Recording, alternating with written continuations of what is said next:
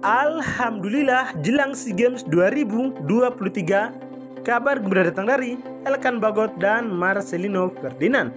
Namun sebelum kita lanjut mohon klik tombol subscribe-nya dulu agar saya bersemangat untuk mengembangkan channel ini. Kalau sudah mari kita simak bersama-sama. Timnas Indonesia U22 Asun Syafri akan melaga perdananya di SEA Games 2023 pada 9 April mendatang. Jelang laga penting tersebut, kabar gembira datang dari dua penting tim Indonesia yang bermain di luar negeri atau abroad yaitu Elkan Bagot dan Marcelino Ferdinand. Seperti diketahui, Elkan Bagot saat ini main di kasta kedua Liga Inggris Ipswich sedangkan Marcelino Ferdinand main di KMSK Denze.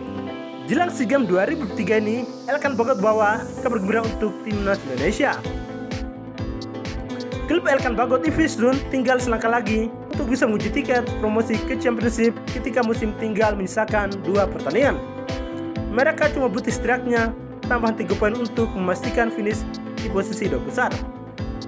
Sedangkan kabar gembira yang datang dari Marcelo Ferdinand yaitu satu gol yang dicetak Marcelo Ferdinand mengantar KMSK Denizé menaklukkan Virton 3-1 sekaligus memperbesar peluang bertahan di First Division B Liga Belgia Sabtu 23 April 2023. Berkat kemenangan ini, KMS KDZ pun membuka peluang lolos dari degradasi ke divisi lebih bawah.